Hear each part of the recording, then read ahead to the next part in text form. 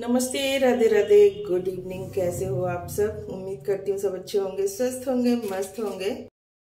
आज दिन है शनिवार और तारीख है 9 मार्च और होली बहुत करीब आ चुकी है और हमारी जो सब्ज़ियाँ हैं ना, सर्दी वाली, वो भी जा रही हैं, जैसे गाजर है, मूली है और गोभी है।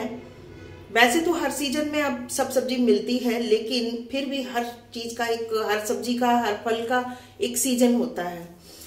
तो मैंने सोचा कि ये जब जा रही हैं, गाजर है, मूली है, गोभी है तो क्यों ना इनको थोड़ा सा स्टॉक करके रखा जाए अचार के रूप में। तो आज मैं बनाने वाली हूँ मिक्स वेज अचार, जिसमें गाजर, मूली, गोभी, पपीता, कच्चा पपीता मतलब शामिल होगा, और हरी मिर्च, लहसुन। सोचा चलिए, आप सबके साथ में शेयर भी कर देती हूँ, क्योंकि किसी किसी को अचार खाना बहुत पसंद होता है। तो जैसे कि मेरे यहाँ भी मुझे बहुत पसंद है अचार खाना, और सब लोग तो मतलब थोड़ा बहुत ही खाते हैं, लेकिन मैं मुझे अचार खाना बहुत पसंद है। चलिए वीडियो शुरू करते हैं।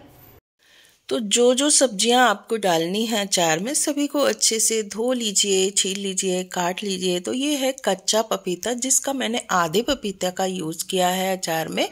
तो हम अच्छे से इसको धो लेंगे, फिर हमने छील लिया है। इन, जो छिलका होता है ना, पूरी तरह से ये हट जाना चाहिए। बिल्कुल भी ग्रीन पार्ट इसमें नहीं रहना चाहिए। और छिलका के छिलने के बाद फिर अंदर भी जो होता है ना थोड़ा सा वाइट वाइट सा, वो भी हमें अच्छे से निकाल देना है। और इस तरीके से फिर हमें छोटे छोटे पीस इसके कट कर लेना है। तो पूरा पपीता हमने इस तरीके से देखिए काट लिया है। मतलब आधा पपीता जो हमने यूज़ किया है अचार में, उसको हमने काट लिया है। आधा हमने हटा दिया है, जिसकी हम कल सब्ज़ी बनाएँगे। और उसके बाद और सब्जियों को भी हमने अच्छे से धो लिया, छील लिया, काट लिया, जिसमें मूली है, गाजर है और गोभी है। थोड़ा सा लहसुन भी हमने छीला हुआ है थोड़ी सी हरी मिर्च का भी यूज़ किया है। तो जो भी सब्ज़ियाँ आपको यूज़ करनी है, सभी को अच्छे से काट लीजिए, धो लीजिए। उसके बाद अब हम चलते हैं गैस की तरफ़। तो एक कढ़ाई में हमने पानी बॉईल किया है और पानी जब अच्छे से बॉईल हो जाएगा, हम उसमें थोड़ा सा एक चम्मच, छोटी एक चम्मच हल्दी ऐड कर देंगे। और जो हमने सब्ज़ियाँ रखी हैं ना, उनको हम ऐड करेंगे और बस गैस को बंद कर देंगे और ढक देंगे। बस पाँच मिनट तक हम ऐसे ही इसी पानी में पड़ी रहने देंगे। बहुत ज़्यादा हमें बॉईल नहीं करना है। डालते ही हमने गैस को ऑफ़ कर दिया था। तो इसी तरीके से हमें सारी सब्जियों को इसी तरीके से थोड़ा सा स्टीम कर लेना है। मतलब स्टीम का मतलब मेरा ये है कि तुरंत गैस को हमने बंद कर दिया था। बहुत ज़्यादा हमें बॉईल नहीं करना है। तो सारी सब्ज़ियाँ हमने इसी तरीके से बॉईल कर ली और निकाल ली। तो ये हैं हमारी सारी सब्ज़ियाँ जो बॉईल हो चुकी हैं। छत पे हमने एक कॉटन के कपड़े पे इनको धूप में फैला दिया एक घंटे के लिए और एक घंटे के बाद हम नीचे ले आए हैं। अच्छी तरह से इनका जो मॉइस्चर था, पानी था, वो सूख चुका है सारा। तो सब्ज़ियाँ हमारी अच्छी तरह से सूख चुकी हैं। बहुत ज़्यादा हमें नहीं सुखाना है। हमें केवल उनका पानी सुखाना है, उनको ड्राई करना है, बहुत ज़्यादा हमें नहीं सुखाना है, उनका मॉइस्चर हमें सुखाना है। तो सब्ज़ियाँ हमारी सूख चुकी हैं और मैंने दिखाया कि मैं छत से नीचे भी लेके आ गई हूँ। तो अब चलते हैं, अब करते हैं इसके लिए मसाला तैयार। दो चम्मच सौंफ, एक चम्मच धनिया। सौंफ को हमने दो चम्मच लिया है और धनिया को लिया है एक चम्मच। और एक चम्मच डालूँगी मैं काली मिर्च। और थोड़ी सी डालूँगी मेथी। मेथी को ज़्यादा नहीं डालना है, थोड़ा सा डालना है बस खुशबू के लिए। ठीक है? सरसों हमारी पहले से रखी हुई है, पिसी हुई, यानी कि दरी हुई। बस हल्का सा इनको गरम करना है। बहुत ज़्यादा रोस्ट नहीं करना है, हल्का सा गरम करना है। गैस को ऑफ़ कर दिया है।